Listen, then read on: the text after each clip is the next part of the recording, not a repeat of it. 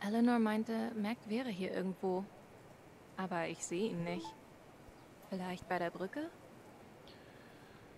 I guess we'll see. Oh, ich hoffe, dass echt das mit Eleanor äh, nicht eine falsche Entscheidung war. Ich, ich, wie gesagt, ich bin immer noch der Meinung, dass, na, wenn, also,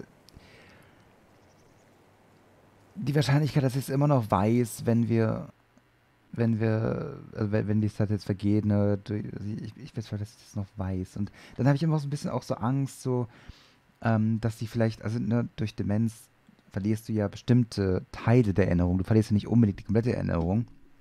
Unbedingt. Also natürlich kann das passieren, aber manchmal auch nicht. Und ich habe so ein bisschen Angst, dass sie halt so dann weiß, dass ich sie verletzt habe, aber weiß nicht mehr wie. Und dann ist sie so wütend auf mich, obwohl sie, obwohl ich eigentlich irgendwie der Wahrheit gesagt habe oder sowas. Und wie gesagt, dass sie überhaupt noch weiß, dass er überhaupt gestorben ist in, in ein paar ähm, Stunden, Wochen, Tagen. Kann man ja auch jemand sagen. Ich, ich glaube, es hätte wahrscheinlich einfach nur den Moment halt einfach gerade kaputt gemacht. Vor allem, weil sie gerade aus einer fucking Panikattacke kommt. Also normalerweise bin ich ja wirklich dieser, ich bin Wahrheitstyp und ich will eigentlich immer, dass die Wahrheit rauskommt. Wie gesagt, man guckt sich mir auch meine alten Level Strange Sachen an und so. Und auch äh, Detroit Human und so. Also die, ganz, die ganzen Spiele, die so ein bisschen in die Richtung gehen. Ich bin eigentlich immer der, der sehr gerne die Wahrheit sagt. Und ich finde halt immer so, die Bilder haben die Wahrheit verdient, aber also natürlich immer vorsichtig, dass man jetzt nicht direkt übertreibt und nochmal so ein Messer reinsticht oder so, aber wenn es eine große Sache ist, die die Person einfach verdient zu wissen, dann mache ich das ja normalerweise. Aber irgendwie, ne?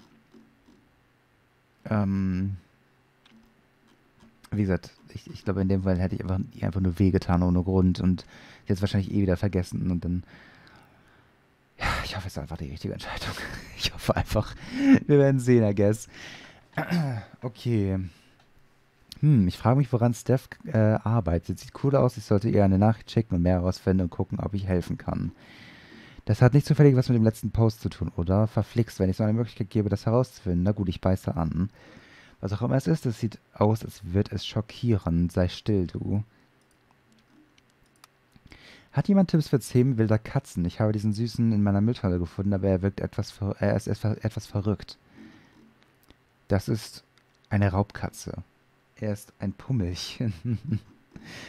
Jasmin, das ist kein Streuner, das ist ein Puma-Baby. Sei sehr vorsichtig, die, sie werden aggressiv, wenn sie sich bedroht fühlen.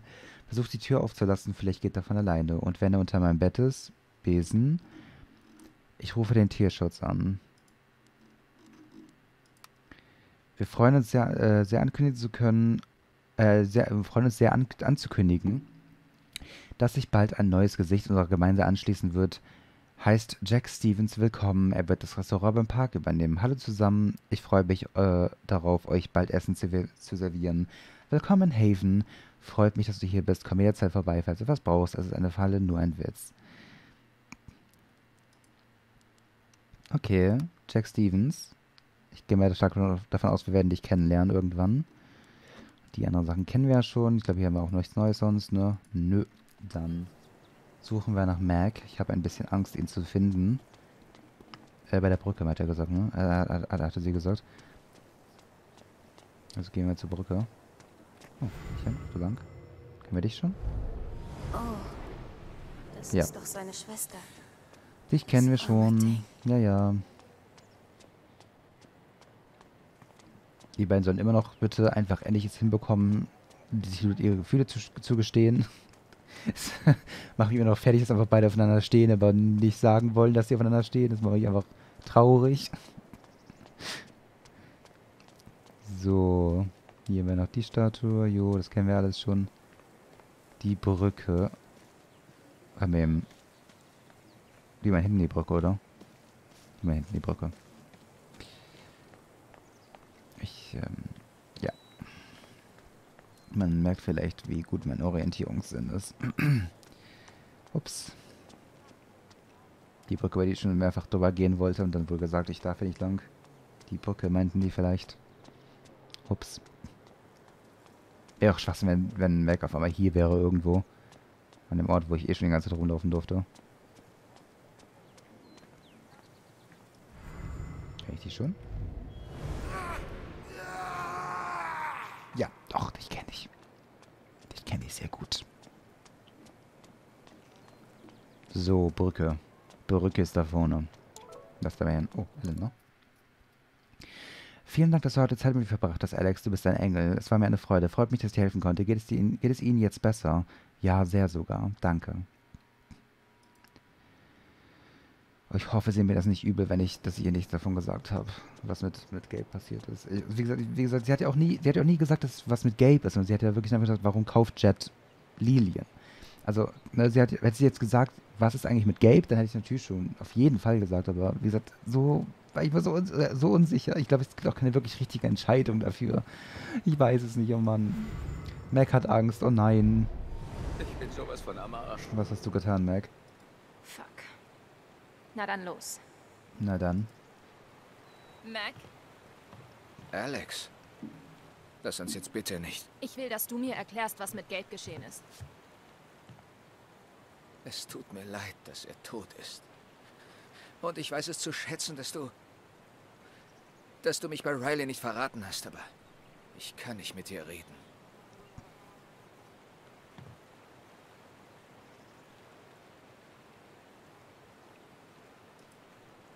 Ich versteh's. Er starb während deiner Schicht und du schiebst Panik. Aber du musst auspacken. Bitte. Ich hab dir nichts zu erzählen. Mac, komm schon. Er war mein großer Bruder. Ich kann nicht. Bitte.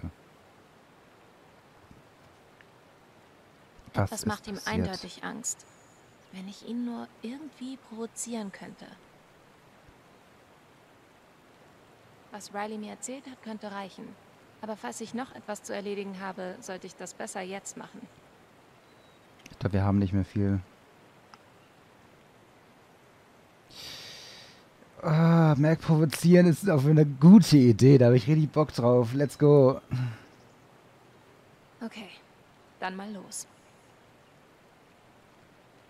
Riley hat mir von deinen Plänen, die Stadt zu verlassen, erzählt. Unschuldige wollen nicht einfach verschwinden. Ich... Es ist nicht... Ich habe wirklich nichts getan. Es tut mir so leid, dass ich ihn provozieren muss, ne? Lass mich in Ruhe, verdammt!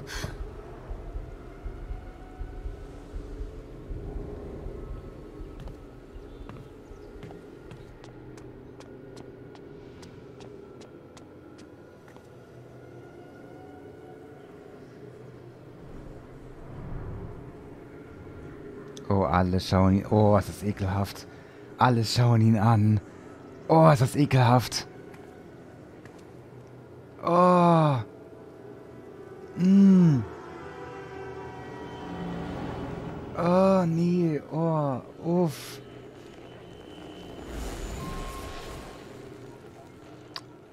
Oh mein Gott. Junge. Oh. Ey, was, was, was die wirklich gut können, ist einfach diese Szenen hier zu, zu Fuck. Ich kümmere mich später um Mac. Erstmal sollte ich so viel wie möglich in Erfahrung bringen. zur Show zu stellen. Ne? Wirklich jede, jede Emotion, die Alex darstellt, fühlt sich einfach so real an. Das ist wirklich crazy. Zieht alles. Die ganze Stadt gehört. Okay. Mac hat das Gefühl, alle würden ihn anstarren. Ja gut, verständlich, ne? Es war seine Schicht, Gabe ist dabei gestorben. Natürlich geben ihm alle die Schuld. Und deswegen hat er Alle Angst. denken, ich hätte ihn getötet. Sie hassen mich. Natürlich. Aber wie gesagt, ich, ich, also ich finde immer noch, ich glaube nicht, dass er ihn mit Absicht getötet hat. Also das, das, das würde er nicht tun. Er war eifersüchtig, ja, aber er, dass er ihn umbringen will, ist eine ganz andere Sache. Also Eifersucht und, und Mord sind verschiedene Sachen. Das ist so unfair. Ich habe überhaupt nichts getan. Steht denn da? Keep your mouth shut. Hm. Oh. Hätte es doch bloß nicht getroffen. Oh, fuck. Alex? Oh, fuck. Oh, fuck. Oh, Alter, das, das ist das Böse. Nein, da draußen sind Leute, verdammt. Ich oh. habe gesagt, dass wir es ablassen müssen. Oh, es ist böse.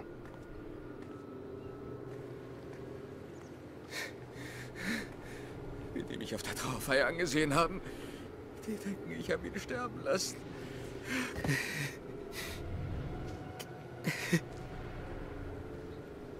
Ich weiß, warum du lügst.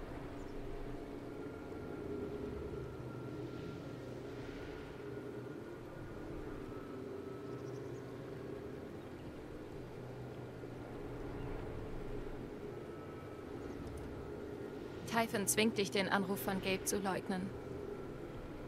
Verdammte Scheiße.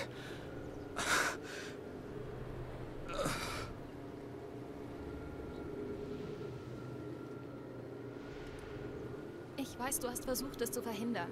Sie haben Scheiße gebaut, nicht du. Hör auf, für sie zu lügen. Du checkst es nicht. Das war kein stinknormaler Unfall. Ich habe denen gesagt, dass ihr da unten seid und die haben trotzdem gesprengt. Absichtlich? Warum? Ich weiß es nicht. Ich schwör's. Und dann bekam ich die Nachricht, dass ich bestreiten soll, dass jemand angerufen hat. Fuck. Du musst mir glauben. Kebe und ich, wir waren keine besten Freunde, aber Ja, ich wollte nicht, dass er stirbt. Natürlich. Jetzt. Jetzt beobachtet mich Typhon. Meine Freundin denkt, ich, ich sei ein Mörder. Alle meine Nachbarn hassen mich. Was zum... Was zum Teufel soll ich denn jetzt tun? Ich könnte ihn beruhigen. Aber hat er das wirklich verdient? Hat er. Zu 100 Prozent. Mac beruhigen. Auf jeden Fall. Also, wie gesagt, er war eifersüchtig, er war nicht cool, aber er ist kein Mörder und er hat er auf gar keinen Fall Gabe mit Absicht umgebracht. Er hat ja auch selber gesagt, dass es so ist. Dass, dass er versucht hat, auf sie aufzuhalten. Okay. Mac? Komm schon. Du musst dich beruhigen, okay? Atme, Mann. Atme ruhig weiter. Ich weiß, wie es ist, wenn dir keiner glaubt. Wenn alle nur das Schlimmste von dir denken. Aber die Wahrheit kommt raus. Ich sorge dafür. Aber Typhon, Wenn Typhon hinter dir her ist, müssen sie erst an mir vorbei, okay?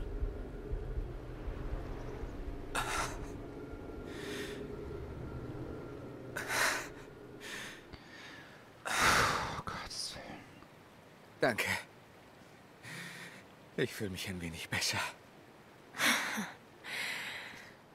Naja, man lernt ein paar Dinge, wenn man ständig zu Seelenklempnern gehen muss. Gottes Willen. Also, Stressig. was machen wir jetzt? Bleib in Haven. Ich decke die Wahrheit auf. Ich versuch's. So gut ich kann.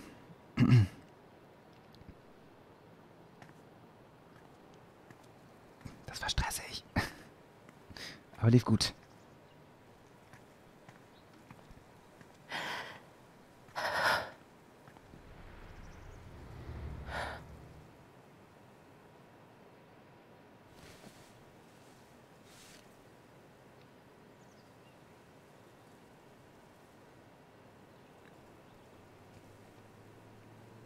Hey.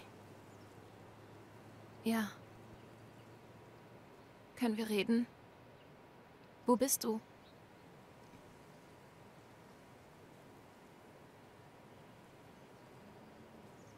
Okay. Okay. Also klar, er war eifersüchtig, aber war- er ist kein Mörder. Er hat ihn auf, also von Anfang an war ich der Meinung, dass er ihn nicht umgebracht hat. Das wäre zu krass. Da, das habe ich ihm niemals zugetraut. Dass er so weit gehen würde, wegen eigentlich ja nichts. Man hat ja auch gesehen, er hat Angst gehabt, einfach weil alle ihm die Schuld zugeschoben haben, obwohl das halt nicht war. Wenn das wirklich war, warum sollte er sowas denken?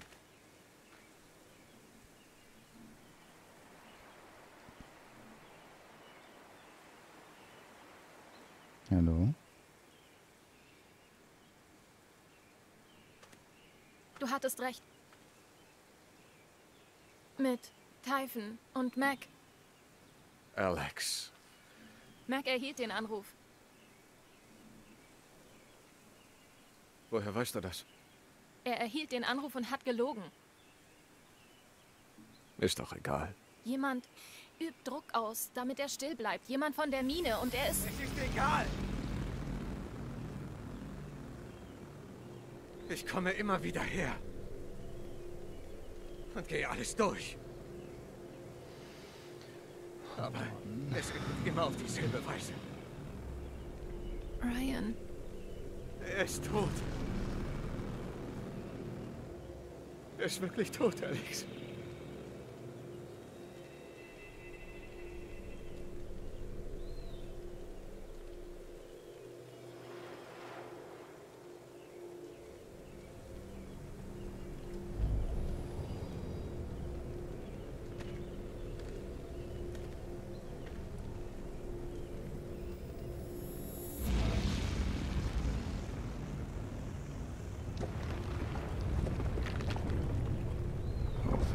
Oh fuck, oh fuck, oh fuck.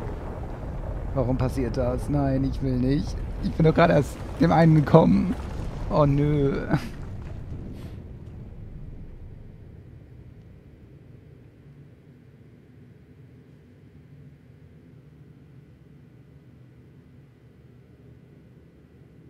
Es ist meine Schuld. Ich sorge für die Sicherheit der Leute. Und ich habe versagt.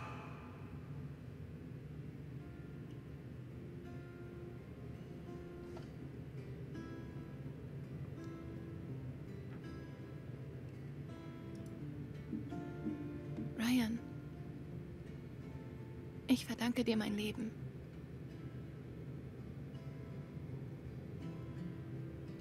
Sie versteht das nicht. Ich habe sie darüber laufen lassen. Ich habe Gabe in Gefahr gebracht. Ich bin kein Held. Ich bin ein Feigling. Ein absoluter Versager.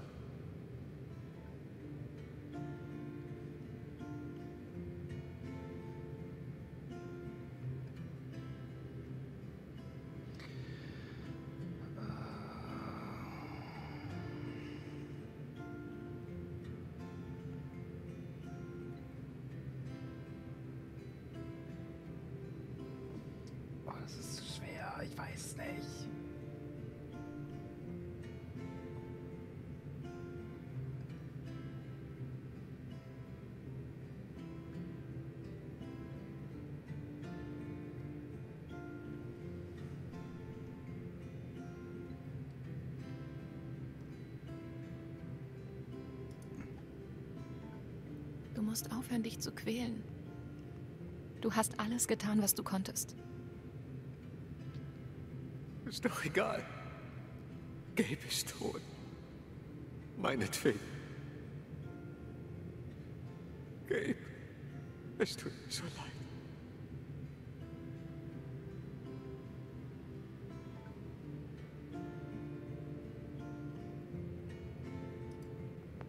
Gabe hat dich geliebt, Ryan. Er würde dir vergeben. Das weißt du. Du bist nicht allein.